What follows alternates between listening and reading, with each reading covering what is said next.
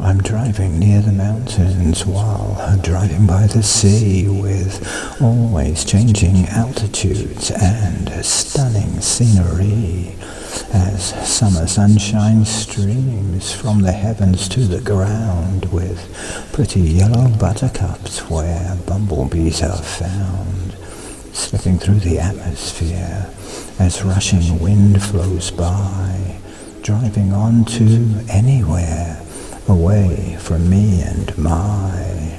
No one knows who I am, traveling along.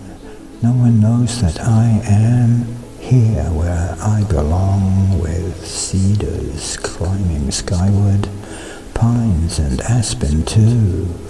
Passing by as I drive, not knowing what to do, not knowing how to leave here, not knowing how to stay. I'm driving near the mountains. It seems the only way.